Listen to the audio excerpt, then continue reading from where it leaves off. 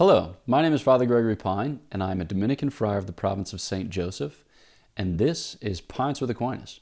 In this episode, I'd like to talk about Christ the Bridegroom, or Jesus the Bridegroom, because we just finished a liturgical year, and in those last few weeks of ordinary time, the sacred scriptures spoke often of our Lord under this title of bridegroom, or the parables referred to him in that fashion. And it had me thinking back to a course that I took while I was in formation, a course called Nuptial Mystery in the Gospel of John. It wasn't actually at the House of Studies, it was across the street at the JP2 Institute Marriage and Family. And I took it there with Father Paolo Prosperi, uh, who's great. Uh, he's a priest associated with Communion and Liberation. And he assigned us a book in that class by Dr. Brant Pitre called Jesus the Bridegroom. So, what you're about to hear is a little bit of Prosperi, a little bit of Pitre, a little bit of me, uh, insofar as I may have remembered and may have forgotten some of the things that they shared. So I hope that that makes for a good mix. But here we go. We'll find out. Woohoo! Okay, so when approaching this question, I think a good place to start is in the Gospel of Mark when Jesus is asked, Okay, why don't your disciples fast? And he responds, well, excuse me, the questioner asks first in terms of other groups of disciples. So he refers to the Pharisees, and then he refers to those disciples of John the Baptist. And he says, you know, both of them fast, but yours don't. To which our Lord responds, it does not pertain to the friends of the bridegroom or to like the friends of the bridal chamber to fast while the bridegroom is with them. But there will come a time when the bridegroom is taken from them, and then they will fast. So he's appealing here to a Hebrew tradition, right? A tradition proper to the people from whom he originates, that you wouldn't fast while the bridegroom is with what we would effectively call today like the bridal party, but that after his marriage, uh, when you have lost him effectively to his wife, though probably would not have been put in those terms, then it would be appropriate to fast. But there's a time during which fasting is suspended, and uh, that we are in the midst of that time now during our Lord's uh, public ministry. So it's a kind of strange response, a cryptic response, but it leads us to approach the scriptures with this understanding that Christ is identifying himself as a bridegroom. So if that's the case, then God, by inspiring the scriptures, has probably left some indication of his plan, which will culminate in the revelation of our Lord Jesus Christ, who bears for us the grace of Trinitarian communion, his, his own grace, right? Uh, so let's take a look back in the sacred scriptures and see if we can identify some of those themes, which will lead up to our, our recognition of him and our reception of the gifts that he gives. Okay, so um, oftentimes God's relationship with Israel, I wouldn't say oftentimes, all the time, it's described in terms of covenant. Okay, so you've probably heard what a covenant is, and you've probably heard it described way better than I can do. So Dr. Scott Hahn speaks about covenant theology with great frequency. But, you know, in a covenant, God uh, like espouses himself to his people in a peculiar way. He promises them a fidelity which is unfailing, which is unconditional. So, though we be faithless, yet he remains faithful, for he cannot deny himself. So, you'll often hear that language in the scriptures that God swears by himself, he swears by his own immutable nature. Um, so, God promises to be faithful to Israel come hell or high water. So uh, we see this covenant, well, we see this covenant first founded, you know, in the Adamic covenant and then refounded in the Noahic covenant. And then you see it throughout the Old Testament, but in a special way, we look to Abraham, Isaac, and Jacob in the book of Genesis. And then in the book of Exodus, you have a very formative moment when after Israel passes through the Red Sea, they sing their song of exultation. They begin their march through the desert, which was going to last them 40 years, right? And at the heart of that book, right, they're given the law, they're given the covenant. So Moses goes up on the mountain.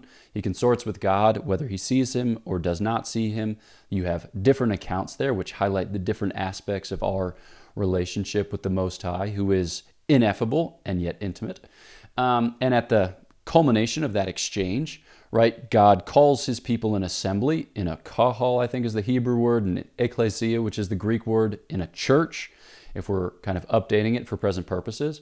And then you have what effectively is a sealing of a covenant, um, and it's done by a variety of ritual gestures, but one of which is the sprinkling of blood. So you would sacrifice animals. Well, you would kill an animal, you would drain it of its blood, you would splash some of that blood on the altar, signifying God's part, and then some of that blood on the people signifying the part played by Israel itself. And then they all effectively sit down to what is a wedding feast.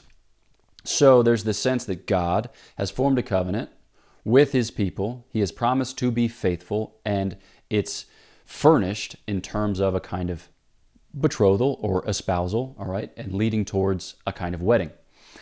Now, when we look towards the prophets, okay, you see also this imagery of marriage, fidelity, and infidelity arise. Perhaps the most striking example of it is Hosea, who is instructed to marry a harlot so as to signify, by this prophetic sign, the infidelity of Israel, who goes after other gods.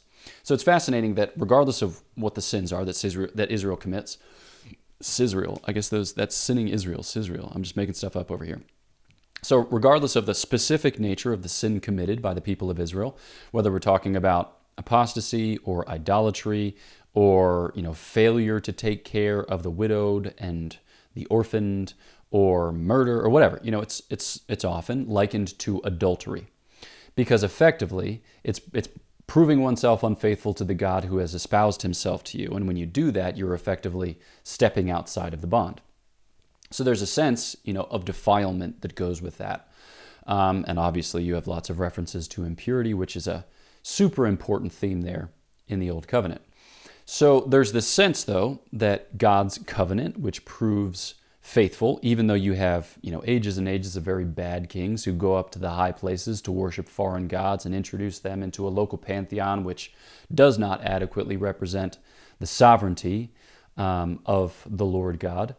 Um, so you have the sense, though, that, that the, it's the bridegroom who makes the bride holy, that makes the bride pure, uh, to make them effectively pure and spotless without stain or wrinkle.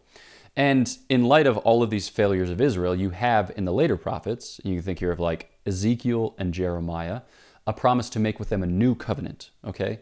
So this is a covenant which will replace their stony hearts with a fleshy heart, with a natural heart. This is a covenant which will be written on that aforementioned heart. Okay, so this is something that's going to be interiorized. This is something that is going to be made more intimate still. so that's the promise. And when Christ arrives, right, when he takes to himself human flesh, when he is born of a woman born under the law to deliver from the law those who were subject to it, he takes to himself all of this foretelling, all of this prophecy, and he is its fulfillment, right? So, um, He's announced by John the Baptist in these terms, right? So, who has the bride is the bridegroom. The friend of the bridegroom rejoices greatly at his voice, okay? So, you think here, you know, Gospel of John, I think it's chapter 3, when St. John says that he must increase and I must decrease. There's this sin that St. John the Baptist sees himself as a friend of the bridegroom whose sole purpose or sole ministerial purpose is to point awesomely and adamantly at the bridegroom who corresponds to the needs and wants of the people of Israel who have strayed from their bridegroom God. Um, and then you can think again of the miracle of the wedding feast at Cana. I recorded a video about that like a billion years ago, it seems like, but it's probably only like six months. Um, so, the miracle of the wedding feast of Cana, you have this grand gesture, the first of his public signs in the Gospel of John, of which there are six before the seventh, which is the resurrection, towards which they all point and in which they all culminate. And in this gesture, he blesses married love. so they run out of wine. It's the responsibility at the wedding feast of the bridegroom. That is a strange pause to make in the middle of a sentence. It is the responsibility of the bridegroom to provide wine for the wedding feast. Okay? And so the bridegroom is not yet conscious of the fact that the wine has run out, whereas Christ is you know made conscious of that fact by his mother, to whom he responds, "What is it to me and to you?" Uh, but then he consorts with the head waiter. They have six large stone jars, which are typically used for you know purity washing, right? So ritual washing, each of which could contain between 20 and 30 gallons of wine. He has them filled with water to the brim, and then the head waiter dips from them. It's taken to him. Excuse me, one of the waiters dips from it. It's taken to the head waiter who tests it and says, You've kept the best wine for the end. So our Lord, at the behest of his mother, at the suggestion of his mother, supplies wine for the wedding feast, which is the task of the bridegroom, and shows himself a bridegroom beyond compare. All right. And in that conversation with his mother, what does he make reference to? He makes reference to his hour. I think it might be his first reference to his hour. I think it is. Um, so, what is it to me and to you, woman? My hour has not yet come. So, within that setting, he's blessing Mary love. He's performing the task of the bridegroom. He's also giving indication of his hour, which hour is the hour of his, pa- his passion and death. Okay? So, it's wed in that way to what is foretold. Um, you can think there of like the Last Supper, for instance, when our Lord performs this ritual action in union with what will transpire on the next day, as if by one event, okay, because it's memorializing what is yet to take place with an eye towards its future dispensation. So you have something similar here with his blessing of married love, his supplying of wine for the wedding feast in the person of the bridegroom, uh, but whilst pointing towards his hour when he will supply the greatest wine for the wedding feast from his pierced side, and when he will perform the task of the bridegroom God to utmost perfection. So then, you know, this other example, the fasting question comes up, which we led with right? When our Lord says it's not for the friends of the bridegroom, the friends of the bridal chamber to fast while the bridegroom is with them, but there will come a time when he is taken from them and then they will fast. Okay, so ordinarily the friends of the bridegroom would suspend their fasting in preparation for the wedding, but after the wedding had taken place, they would resume their fasting. so our Lord is saying, I'm going to be taken from them, and then they're going to fast. When is he taken from them? He's taken from them at his passion and death, right? He comes back briefly after his resurrection and then ascends into heaven. So just thinking of all those events passion, death, resurrection you can add descent into hell. Uh, or burial, descent into hell, preaching to the damned. His resurrection, his ascension, his seating at the right of the Father, and his judging in glory. You can think of all those as you know pertaining to the Paschal mystery. Some people go as far as the sending of the Spirit, but he's pointing to that as a wedding.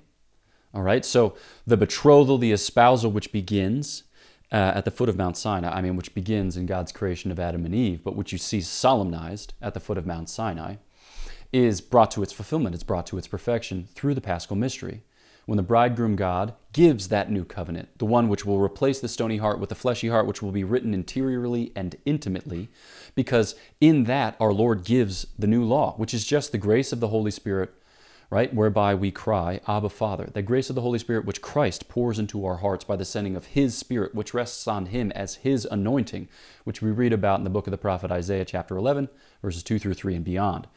Um, so when our Lord is making all of these connections, He's, you know, performing a kind of prophetic gesture of His own, but He's embodying it, He's inhabiting it, He's bringing it to its perfection, to its completion and fulfillment. So, this is the hour. This is when the bridegroom God is wed to his people most perfectly in Christ, who has already wed himself to our flesh in his person by the hypostatic union, but then weds himself to us yet further through the paschal mystery by showing how manifestly God loves us and by performing this act of satisfaction, sacrifice, redemption, which merits for us our salvation, which merits can be applied throughout the course of time and space so that we can draw near to him who has drawn near to us. So, the passion, he lays down his life, right? Which in Ephesians 5 we have identified as what is particular to the husband as an image of the love of Christ for his church, right? He lays down his life in sacrifice so as to defend, right? So as to provide, so as ultimately to lead his bride, uh, right? Or effectively his family into the fullness.